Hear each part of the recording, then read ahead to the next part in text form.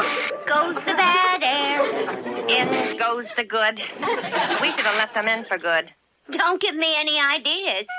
Out goes the bad air.